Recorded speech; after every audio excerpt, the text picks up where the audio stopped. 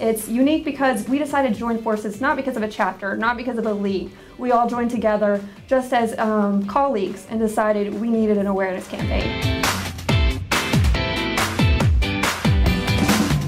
Um, in addition to that, also what we do as far as a co-op is, you know, we come together during our meetings and we share ideas with one another, you know, different topics or strategies, what's working for us, what's not working for us, uh, challenges that we face, um, how can we better reach the marketplace, the members, what are their needs, their wants.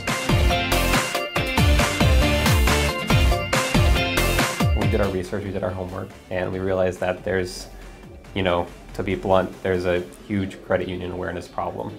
Um, a pretty large percent of the population just have no idea what a credit union is, and even more of them have never have say that they've never even seen a credit union advertisement.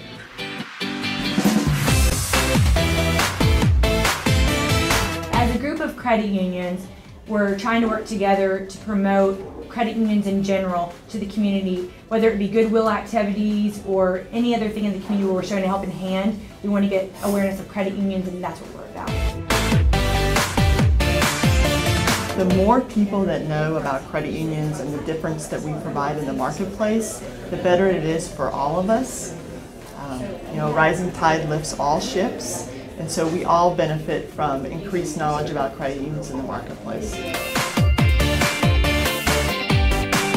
The purpose of the Gulf Coast chapter of Credit Unions Board is to bring the credit unions together in order to help us ultimately educate and empower our members.